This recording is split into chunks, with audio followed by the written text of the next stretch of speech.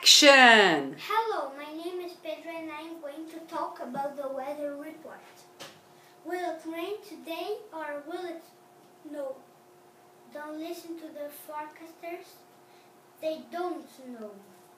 When the weatherman says we won't have rain, we'll probably get a hurricane.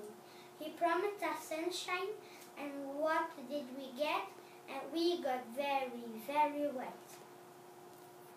Thank you for your attention.